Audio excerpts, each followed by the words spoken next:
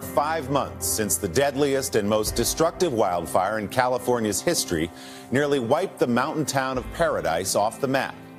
There's not much left in the Northern California community of about 26,000 people, many of whom have not returned and may never. But there are signs of hope and inspiration in the ruins of that tragedy. NBC's Steve Patterson has our Sunday closer. High above what's left of paradise after last fall's Camp Fire burned nearly everything to the ground. It's hard to imagine you could ever find beauty again. But if you look closely, you might find it staring right at you. Paintings of beautiful women projected on the facades of ruins, all the careful creations of one man.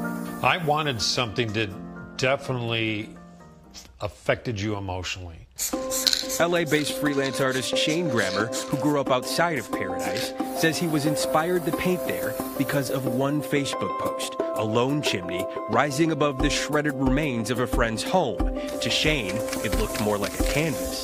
Sometimes you just know, and a, you know, a gut reaction. I knew I needed to go paint that chimney. Armed with cans of spray paint, he transformed a reminder of personal tragedy into what residents saw as a symbol of hope and you weren't sure it was going to have any connection. Oh, heck no. Are you kidding? No, I didn't know how the community would respond at all. The response overwhelming. Residents so moved, they asked him to keep painting. It did move people emotionally. Uh, it, to me, that was a miracle. Proving that paradise could still be beautiful, even like this. At Hope Church, there wasn't much to work with. Remarkably, only a wooden cross still stands. But Shane found a way it's special. Something inspirational in the middle of what seems, you know, so chaotic. Inspiration is found faded into the rusted ruins of a church baptismal, sun bathing on the side of a hollowed out shed, or spread across the shell of a burnt fan. In total, Shane has painted 17 murals, all with the blessings of property owners. Most so subtle, even haunting, they seem to blend in with all the chaos. What's the decision to do that? It was important to me that the the work faded in, almost felt like it was a part of this environment.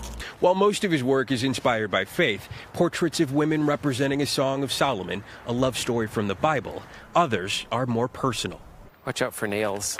Nicole and Greg Wettig lost their home, escaping with their child Eleanor, who now looms over what's left, a reminder of their life here. She's looking up at it, at the future. What's your hope for paradise? they will rebuild, you know, they will grow again, they will thrive again. That's really the deep message is that there's hope and there's life again. There's beauty. There's beauty among the ashes.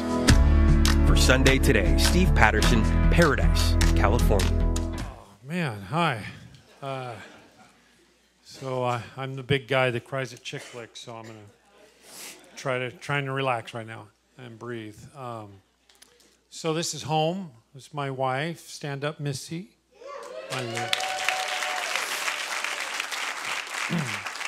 I completely understand that she makes me look good. I get that. Um, but uh, we, we, most of our marriage, we've been at this church. So this church is our family. Our, we have three daughters, and they were born while we were at this church, attending it. So you guys are very special to us, and, and we miss you very much. Um, a lot of people I've been interviewed by New York Times, LA Times, Ron Howard's team, uh, documentary crews from Stanford, uh, Notre Dame, um, Inside Edition, Washington Post, things like that. So a lot of a lot of news that I've never had in my life, and they always say the first thing they say is you're kind of humble, and uh, and then I say, well, because I've had my life handed over to me. My wife and I know what it's like to, you know, shut a business down. And um,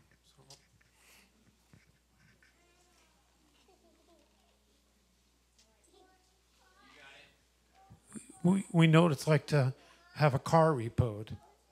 We know what it's like for her to sell her wedding ring.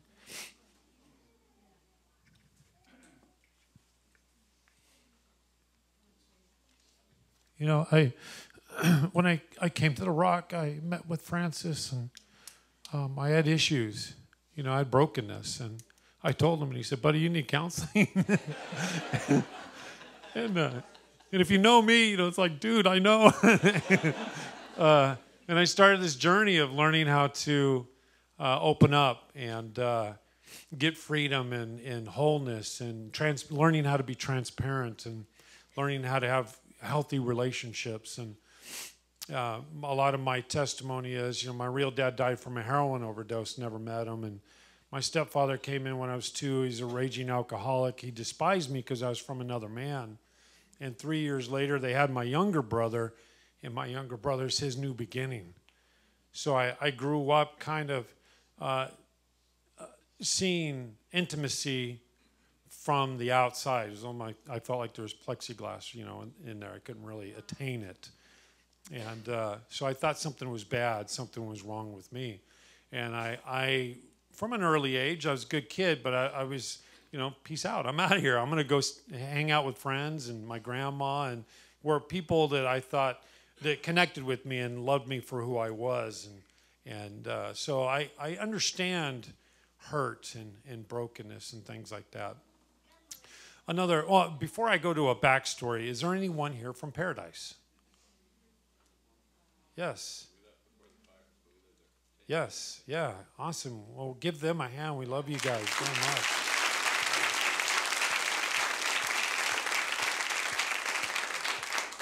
It'd be cool to pray for them at the end. If, um, but a backstory that I, I, will tell a lot of media. I have two backstories. The first one is this was another walk in the park for me. So it was, you know, it wasn't something special that I thought.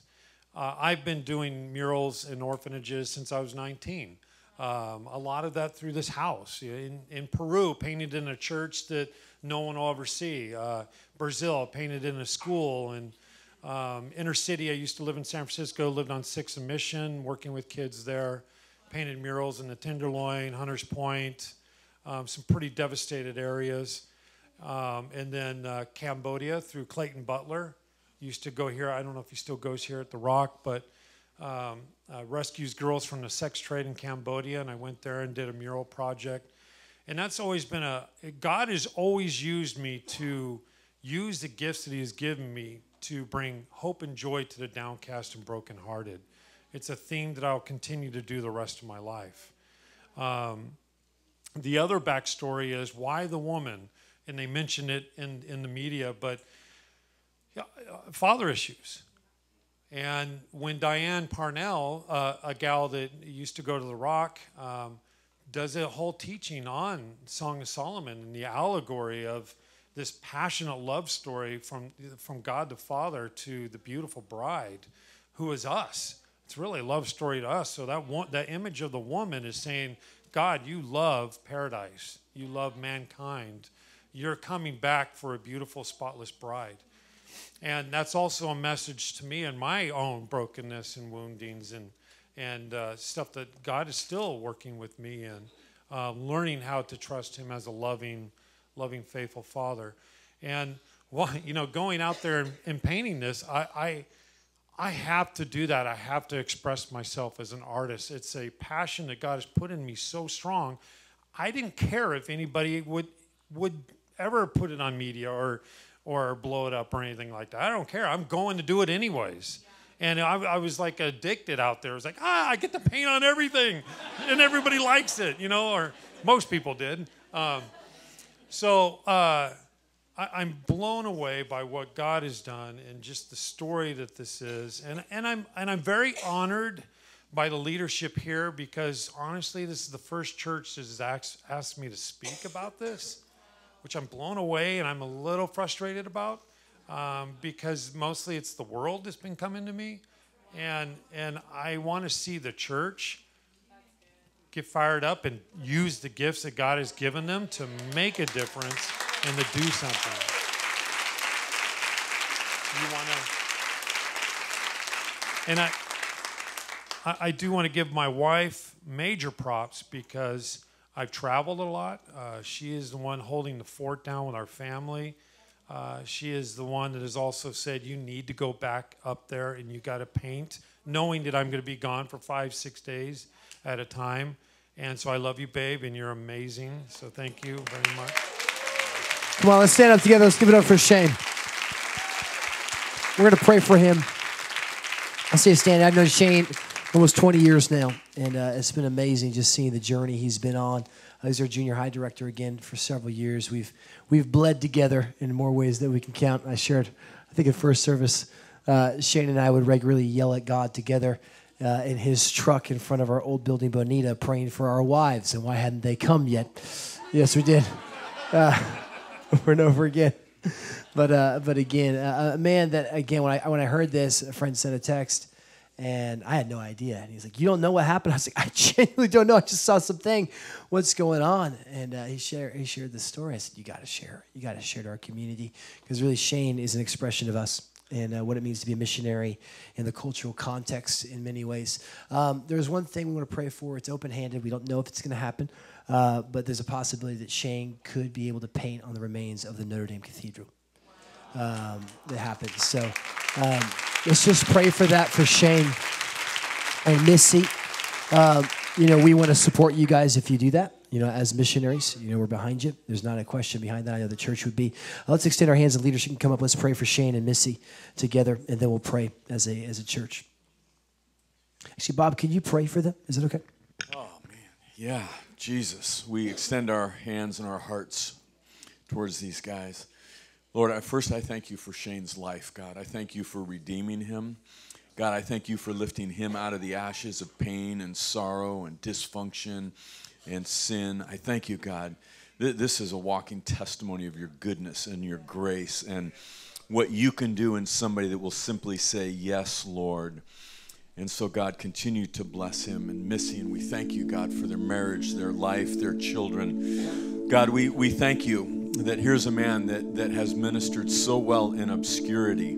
He's never looked for attention, he's never sought it out for himself, he's never sought glory. He's just simply looked to interpret your heart and put it on canvas and murals and, and, and multiple expressions, God, of the creativity and the giftedness that you've placed in him, God. And we believe that with every mural, there will be multitudes of healing transformations, God. We believe that that's a sovereign thing and it's an anointed work, God. And we pray that you would continue to give him the grace, give Missy the grace, God. I thank you for her, Lord Jesus.